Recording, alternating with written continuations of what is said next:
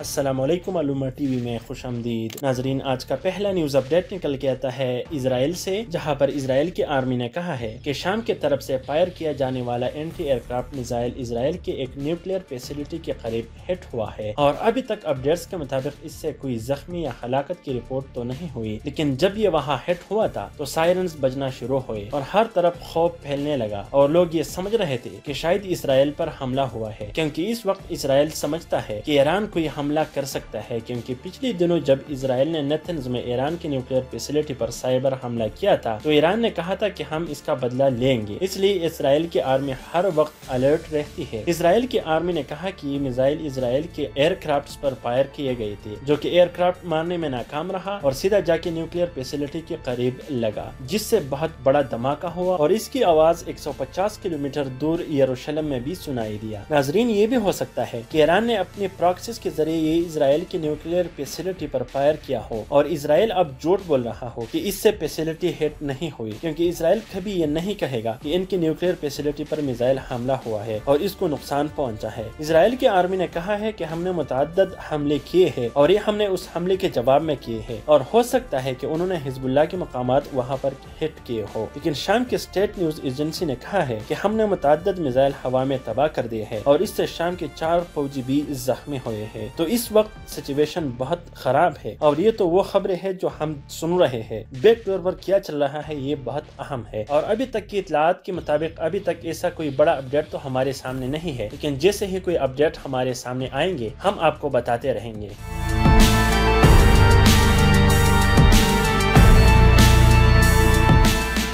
नाजरीन, आज का दूसरा न्यूज़ अपडेट निकल के आता है रूस से, जहाँ पर रूस के मास्को में हज़ारों लोगों ने मुजाहरे शुरू कर दिए हैं। और वो कह रहे हैं कि रूस का सबसे बड़ा क्रिटिक और अपोजिशन लीडर अलेक्सिस नवेलने की ज़िंदगी खतरे में है और हुकूमत उसको सहूलियात नहीं दे रहा। और ये उन्होंने यूनाइटेड नेशन के एक्सपर्ट के स्टेटमेंट के बाद किया, जिन्होंने कहा था की अलेक्सिस नवेलने की ज़िंदगी खतरे में है और वो किसी भी वक्त मर सकता है, जिस पर मुल्क में दोबारा मुजाहरे शुरू हुए और हुकूमत ने चार सौ ऐसी जायद लोग गिरफ़्तार कर लिए है, जिनका ताल्लुक इन मुजाहरीन से था। ह्यूमन राइट्स ग्रुप्स का कहना है कि हुकूमत ने मुजाहरी शुरू होने से पहले भी दर्जनों लोग गिरफ़्तार कर लिए थे, ताकि मुजाहरे रोक सके, क्योंकि पिछली बार जब नवेलने को गिरफ़्तार कर लिया गया था तो बड़े तादाद में लोग सड़कों पर आए थे और उन्होंने रोड ब्लॉक कर दिए थे। नाजरीन, नवेलने रूस की हुकूमत पर तनकीद करने वाला सबसे बड़ा शख्स है और रूस और चीन की हुकूमतें कभी अपने ऊपर तनकीद बर्दाश्त नहीं कर सकती। इसलिए नवेलने को रूस में जहर दिया गया था और बेहोश हुआ था, जिसके बाद इन्हें जर्मनी शिफ्ट किया गया गया उसके बाद जब वो अपने मुल्क वापस आ रहा था तो एयरपोर्ट पर प्यूटन हुकूमत के लोग मौजूद थे जिन्होंने इनको गिरफ़्तार कर लिया। लेकिन जर्मनी से निकलने से पहले उन्होंने एक वीडियो पोस्ट की थी, जिस पर बड़े तादाद में लोग सड़कों पर निकल आए। इसलिए अमेरिका के सदर जो बाइडन ने भी पिछले दिनों प्यूटन को कातिल करार दिया था। जब रिपोर्टर ने इनसे पूछा की क्या आप वाकई प्यूटन को कातिल कहते हैं, उन्होंने बताया की जी हाँ। नाजरीन, अमेरिका की खुफिया रिपोर्ट के मुताबिक नवेलने को जहर प्यूटन के हुक्म पर दिया गया था। इसलिए अमेरिका प्यूटन पर बहुत गुस्सा है।